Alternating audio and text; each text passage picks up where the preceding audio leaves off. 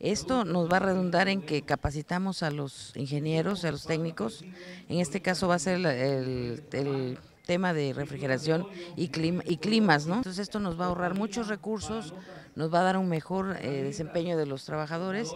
A nosotros nos va a fortalecer mucho en cuestión de difusión de nuestros servicios para que la población de Tuxtla Gutiérrez, de todos los municipios que, nos, que somos colindantes y todo el estado de Chiapas sepa de que aquí en el estado hay una opción de capacitación